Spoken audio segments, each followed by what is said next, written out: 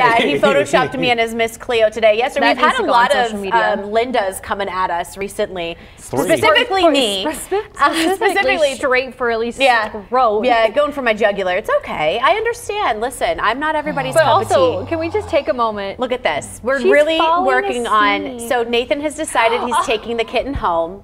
He's going to be oh, surprising. Oh, look at her. She just wants up, to be Nathan.